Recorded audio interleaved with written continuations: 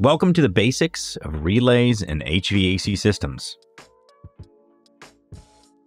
Today, we'll explore key components like the coil, the switch or the contact, and ultimately how relays work and how they're used.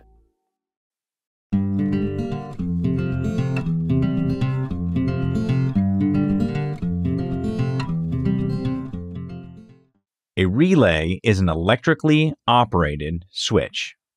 It generally allows a lower voltage control circuit to control one or more higher power or higher current circuits, functioning as a critical control mechanism to turn things on and off safely. At its core, a relay consists of a coil, also known as an electromagnet, and a series of electrical contacts.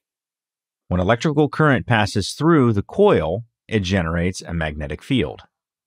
This magnetic field causes a metal armature to move, opening or closing the contacts attached to it.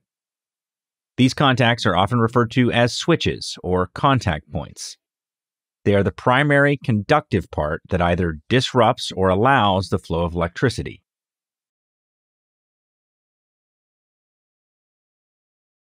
They act like little drawbridges, allowing current to pass when closed and preventing flow when open.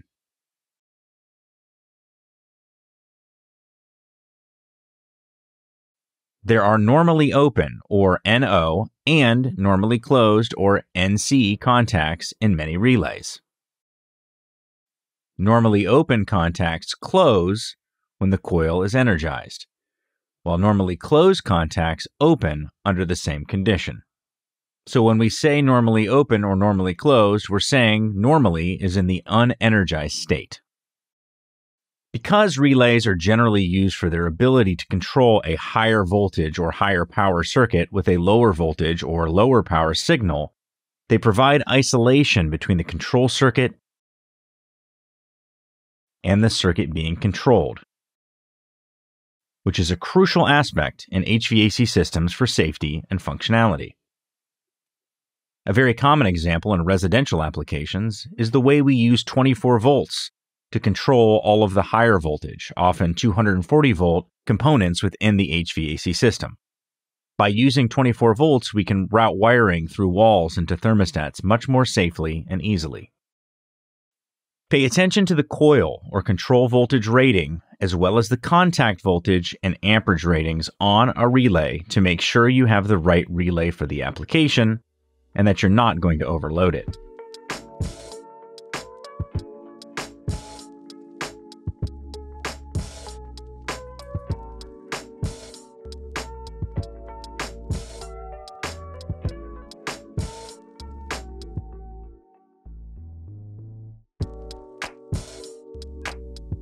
Let's cover two common types of relays that are used in HVAC the 90-340 and the Ice Cube relay.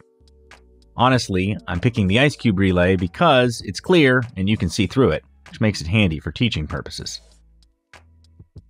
One of the most common and versatile relays in HVAC systems is the 90-340 relay. It's very similar to another relay called the 90-380.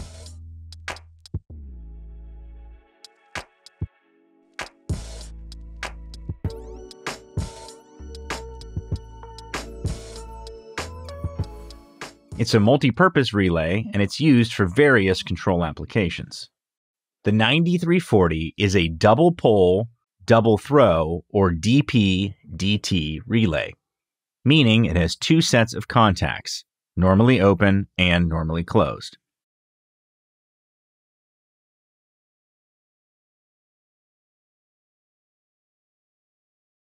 At its core is the electromagnetic coil, usually rated at 24 volts. When energized, it creates a magnetic field pulling the switch contacts to change the states of the contacts. The 90-340 features eight terminals two for the coil, two common terminals, two normally open, and two normally closed. You'll notice the contacts are in two rows, which are isolated from each other, which in turn are isolated from the coil. These contacts are often called dry contacts because they're completely isolated from the power supply used for the coil. This is what allows us to have different voltages for the contacts than we do for the control circuit on the coil. The 90-340's versatility allows it to control fan motors and other key components in HVAC systems that draw less than 15 amps. Now let's show the Ice Cube relay. The Ice Cube relay is named for its clear, cube-like casing. And just like the 90-340, it has a coil, an armature, and contacts. Now let's talk about some larger controls that function very much like a relay, but handle higher currents. Here we show a contactor and a starter. A 40 amp, two pole contactor is often used in larger residential and light commercial systems. And this two pole contactor has two sets of contact points. It's designed to handle higher amperage up to 40 amps. This is why you'll often see contactors like this controlling compressors that potentially have higher current draw. It operates very similar to a relay. It has a coil, but all of the contacts are normally open and close upon energizing. Another common contactor you see in residential HVAC is the 25 or 30 amp 1 plus contactor. This type of 1 plus contactor has only one contact, and the other side is a through pole connection. These are common in residential systems where they only need to break one pole of power. They can also be useful in some crankcase heater wiring configurations.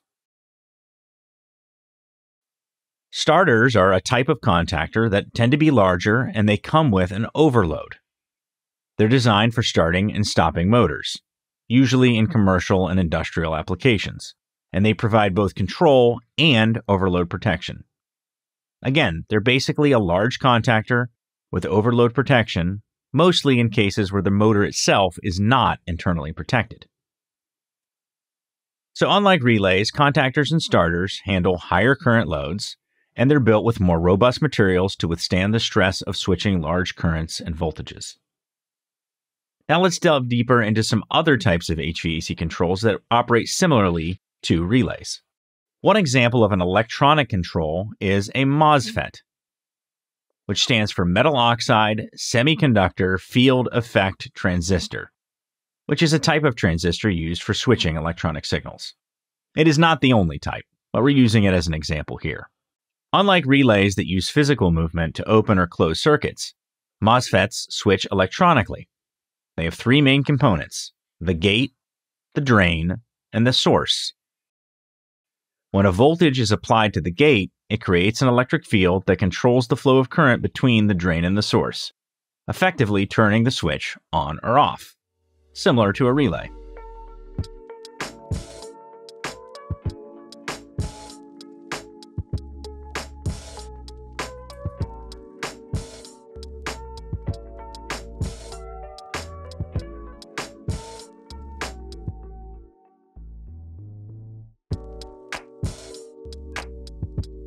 In most HVAC systems, MOSFETs are found in circuit boards and in digital thermostats, where precise and rapid switching is crucial in a compact space.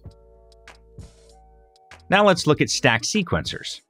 Like a relay, stack sequencers use physical components to control sequences and electric heaters and fans.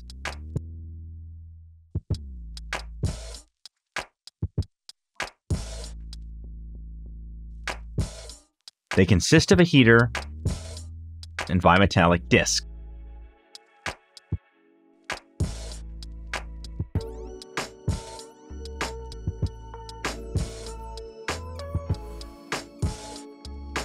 and they're used in cases where on or off delays are desired.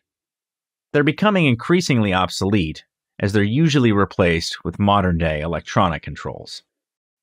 When the heater is energized, it warms the bimetallic disc, the disc is designed to flex at a specific temperature, closing contacts in a predetermined order. This staggered activation helps manage the electrical load, preventing circuit overloads, especially in cases when you're using electric heaters. The time delay in stack sequencers is governed by the rate of heating and cooling of the bimetallic disc. This ensures a sequential startup and shutdown, providing an efficient and controlled process. In summary, a sequencer is using heat rather than electromagnetic field to control the switching. Let's further drive home the way these various controls work by showing them on a diagram and tested with a multimeter. On the left, you see a connection diagram or point to point diagram, and on the right, you show a ladder schematic or schematic diagram in the ladder form.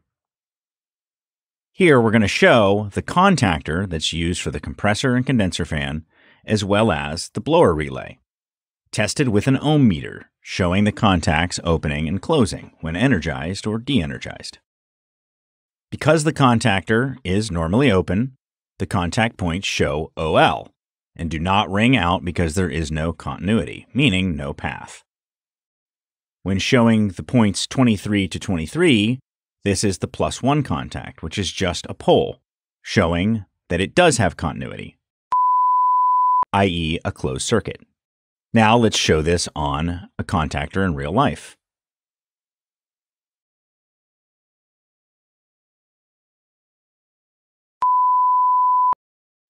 Now we're going to show this on a blower relay.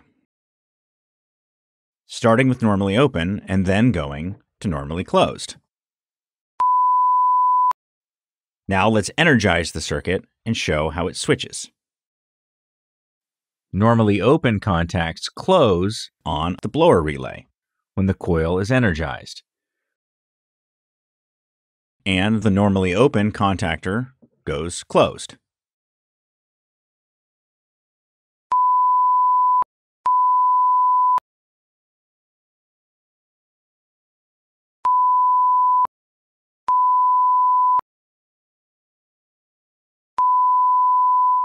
What was normally open now goes closed when energized, and what was normally closed now goes open when energized. Again, using an ohm meter and a continuity test to show this. Now showing the same thing on a bench with the two pole contactor and the one plus contactor.